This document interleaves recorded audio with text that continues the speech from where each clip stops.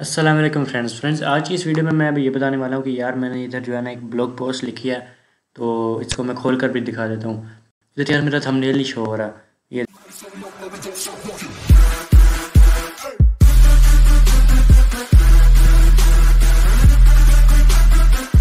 देखो, मैंने हालाँकि ये थंबनेल लगाया भी हुआ है इस जगह पर।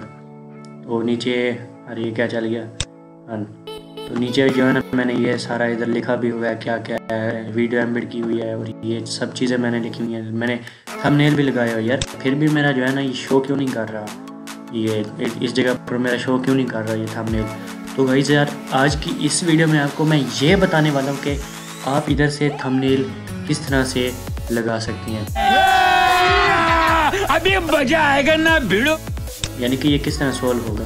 सर ये देखो मैंने इधर ना थंबनेल भी लगाया हुआ है। ये देखो। मैंने थंबनेल भी है। तो जैसे ही मैं इस पर क्लिक करूँगा ना साइज़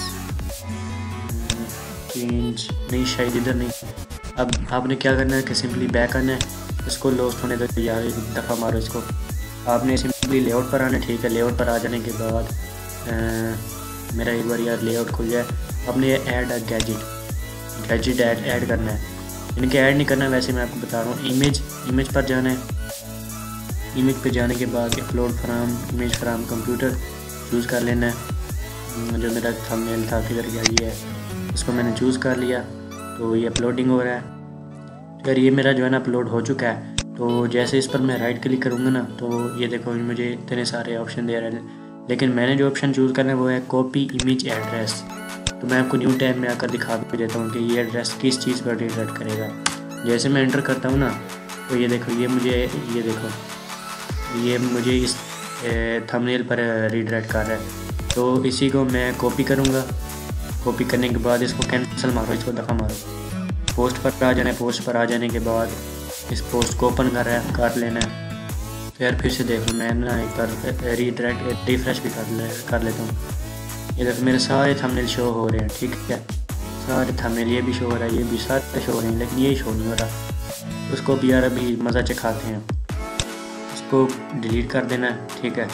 फिर इधर से इंजर्ट इमेज और by U R L U R L इधर लेकर आएँगे, इधर सिंपली पेस्ट कर देंगे और ये जो है ना, हमारा प्रीव्यू भी दिखा देगा। इसको सेलेक्ट कर लेंगे। सेलेक्ट करने के बाद इसके सेटिंग पर चले जाएँगे। सेटिंग पर जाने के बाद इसको एक्स्ट्रा लार्ज कर देंगे। और ओल्ड टेस्ट लिख देंगे how to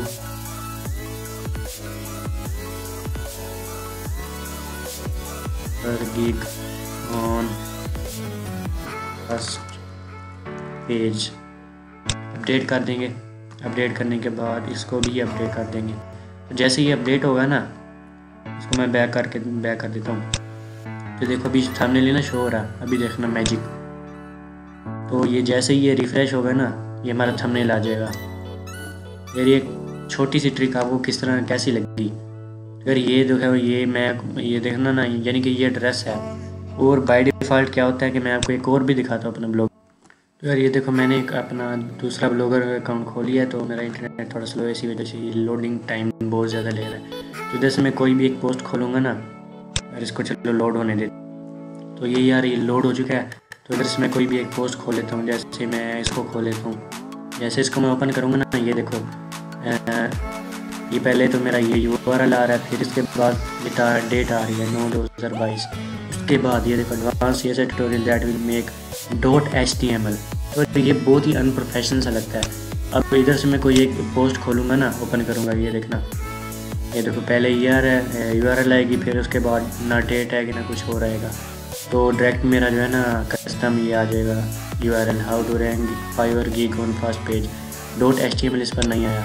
इस पर आ रहा है, इस पर डेट भी आ रही है और ये एल भी आ रहा है, लेकिन इस पर नहीं आ रहा। तो यार ये मैंने जो है ना न्यू बनाया अपना ब्लॉगर तो इसका मैं आपको दिखा देता हूँ ये किस तरह से मैंने किया तो मैं इधर सिंपली थीम पर आ जाऊँगा थीम पर आ जाने के बाद इस पर कस्टमाइज़ कस्टमाइज़ के बाद एडिट एल इसकी एडिट एच एडिट कर लूँगा। यार इसकी एडिट एच जो है ना बहुत आसान होती है। और ये जो आपको नज़र आ रहा है ना, ये स्क्रिप्ट ये स्क्रिप्ट इधर से लेकर थोड़ा सा नीचे जाऊँ। यहाँ तक ये देखो, इतनी सी स्क्रिप्ट है इसकी। यार ये क्या भूल गया? अच्छा इसकी स्क्रिप्ट जो है ना इतनी सी है। इसकी वजह से ना मेरी डेट आ रही है और ना ही मेरा जो है ना ये आ रहा है। Sorry dot H T M L tag आ रहा है। तो ये देखो, ये एक्चुअली कहाँ लगाना होता है? ये हेड टैग होता है ना हेड टैग उसके जस्ट नीचे लगाना होता है स्क्रिप्ट टैग देकर।